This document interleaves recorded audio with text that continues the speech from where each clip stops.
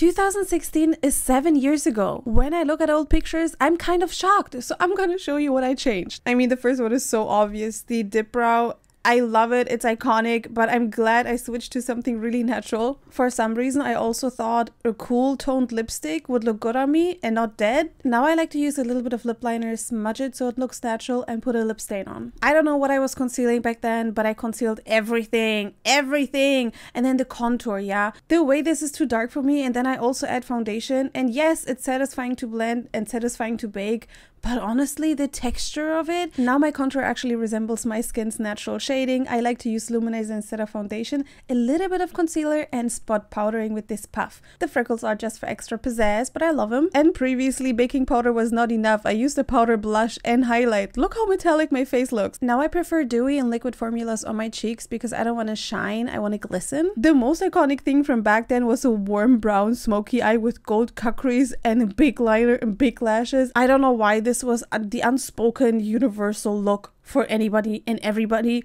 but like even if you're going nowhere, you know what I mean? Like this was it. And now I prefer a more subtle version. I'm using the same ideas, but this is just how I would do it now. What do you think? Is it better or worse?